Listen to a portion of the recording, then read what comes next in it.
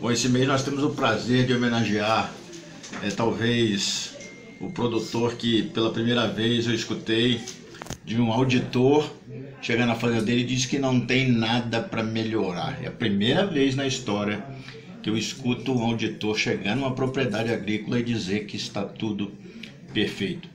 Esse capricho é do Zé Eduardo Bernardes e é com muito, muita satisfação que a gente é, tem ele hoje como produtor do mês. Não só pelo esmero, mas também pela.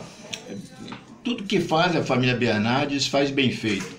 E eu acho que é, a premiação desse mês, é, levando o seu café a todos os consumidores de patrocínio, é o nosso respeito por esse trabalho de dedicação é, da família Bernardes como um todo, especialmente do Zé Eduardo, é, nas suas propriedades. O café é excepcional, é, podem é, vir aqui na cafeteria experimentar ou comprar e levar para casa, vão degustar algo realmente especial.